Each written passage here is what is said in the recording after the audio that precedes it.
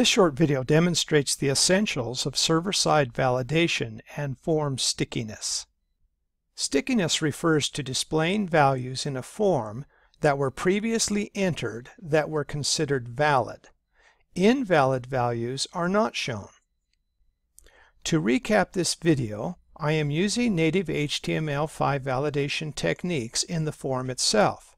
However, I am using the No Validate bookmarklet to disable the native client-side validation. It is important to remember that client-side validation of any kind can be disabled. As a result, on the server side, I have duplicated my validation in several ways. When collecting data from the browser, I am filtering it and sanitizing the incoming data to remove HTML tag markup. 2. I have created two custom functions to validate an email address and to check the password to meet my requirements. 3. I am then checking the variables that they have values which are valid. If not, an error message is set and the web view is included into the scope of the controller. If an error is returned, the form's PHP code checks if the variable exists with a value and displays it using the input's value attribute. A note about security.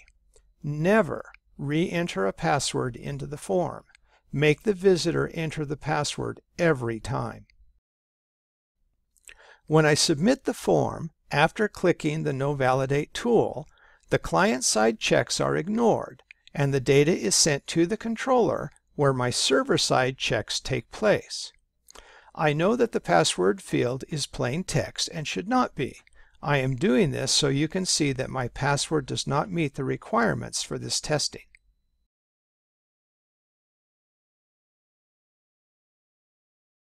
If data is valid, but not all inputs are valid, the form is returned and valid data is displayed in the form while invalid inputs are blank.